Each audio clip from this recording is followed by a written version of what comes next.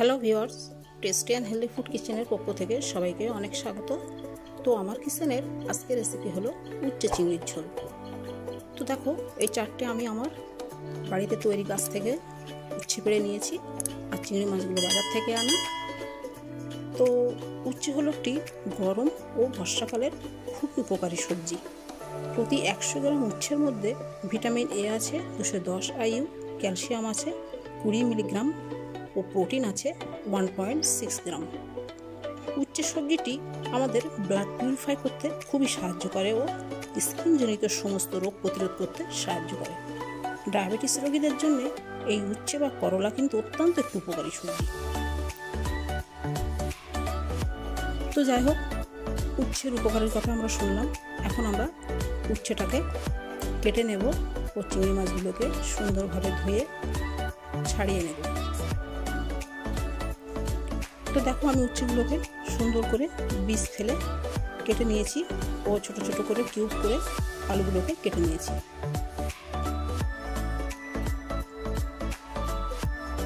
নিয়েছি চিংড়ি মাছগুলোকে ধুয়ে পরিষ্কার করে কেটে নিয়েছি, পুরো খোসা ছাড়িয়ে নিয়েছি, সঙ্গে নিয়েছি ফোড়নের জন্য গোটা জিরে ও তেজপাতা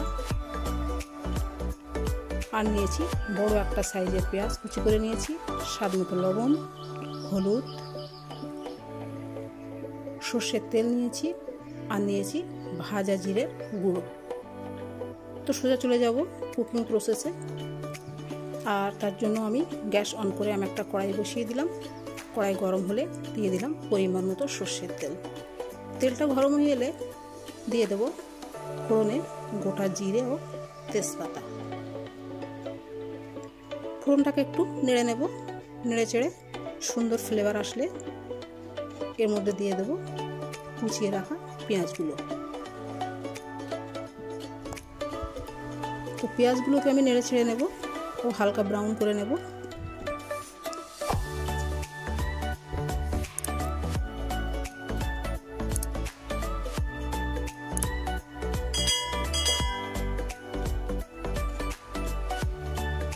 তো দেখো, আমার হালকা ব্রাউন হয়ে গেছে, এখন এই পর্যায়ে দিয়ে দেবো ধুয়ে রাখা চিংড়ি মাছগুলোকে। সঙ্গে দিয়ে দেবো স্বাদ মতো লবণ। তো চিংড়ি মাছগুলোকে আমি তেলের মধ্যে এইভাবে নেড়ে চেড়ে ভেজে নেব।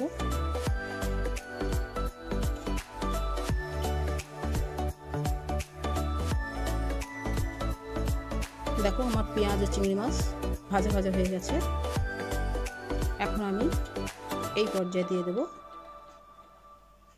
কেটে রাখা উচ্ছে ও আলু একসঙ্গে।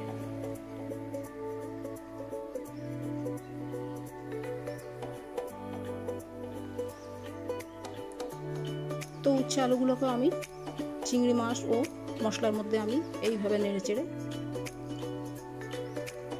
ভেজে নেব। এর মধ্যে দিয়ে দেবো অল্প একটু পানি। এইভাবে আমি কষাতে থাকব দু থেকে আড়াই মিনিট।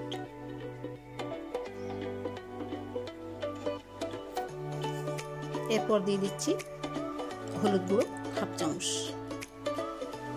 হলুদ গুঁড়োকে দিয়েও আমি রান্নার মধ্যে এইভাবে নেড়ে চেড়ে মিশিয়ে নেব, কষাতে থাকব।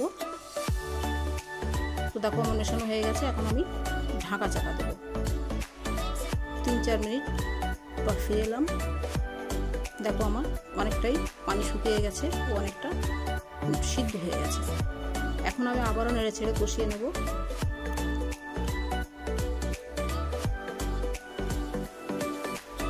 এখন দিয়ে দেবো গ্রেভির জন্য পানি।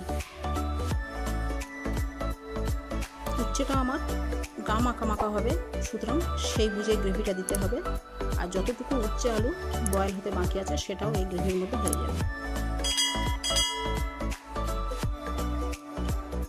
আমি ঢাকা দিয়ে দেবো।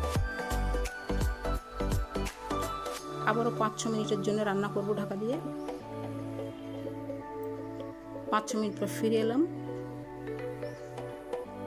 দেখো, গ্রেভিটা আমার অনেকটাই কমে এসেছে। এখন আবারও একটু আমি নেড়ে চেড়ে নেব। আর দিয়ে দেব গোটা জিরে।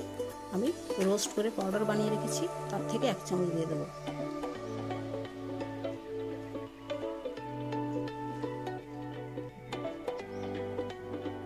তো ভাজা জিরে গুঁড়োটাকে দিয়ে আমি রান্নার মধ্যে খুব সুন্দরভাবে নেড়ে চেড়ে মিশিয়ে নেব, যাতে ফ্লেভারটা রান্নার মধ্যে খুব তাড়াতাড়ি মিশে যায়। আবারও দিয়ে দেবো ঢাকা। ঢাকা দিয়ে আমি দু আড়াই মিনিট রান্না করব। তো দেখো আমি গ্যাসটা অফ করে দিয়েছি অলমোস্ট আমার রান্নাটা রেডি হয়ে গেছে।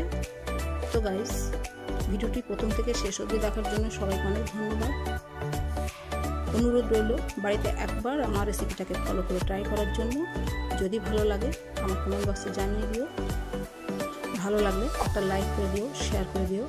আর আমার নতুন চ্যানেলের পাশে থাকার জন্য অনুরোধ রইল চ্যানেলটাকে সাবস্ক্রাইব করে নিও। ধন্যবাদ সবাইকে।